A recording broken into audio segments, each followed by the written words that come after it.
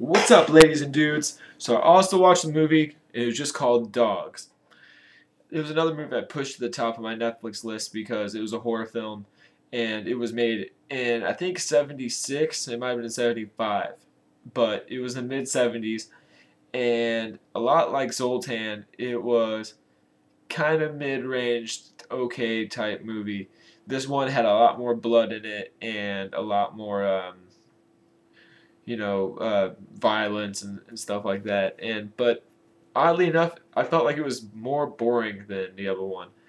Um, pretty much, this movie was about dogs that all the dogs in the town start going crazy and they start attacking, like forming into a big group, like a big pack, and hunting the people.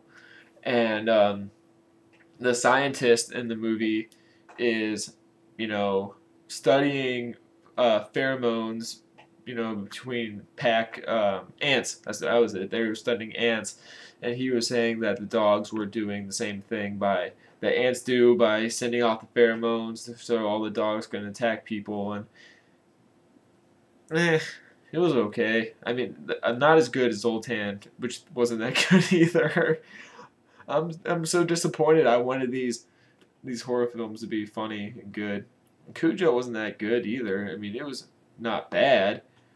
Definitely, that was the best one out of all the, the um, horror films I've watched um, on this.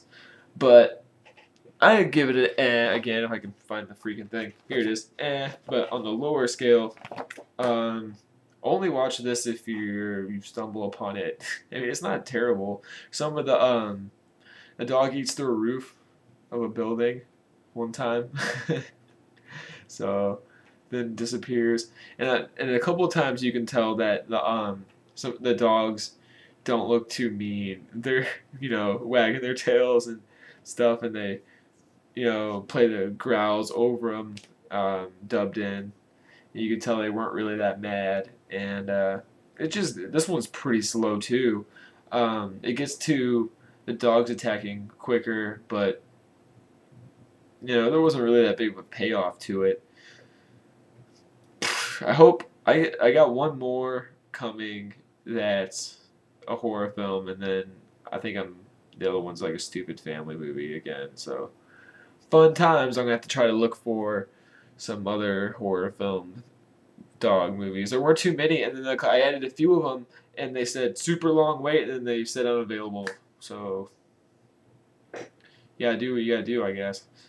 I'm going. I'm almost at 60. Gotta keep going. All right. Till next time.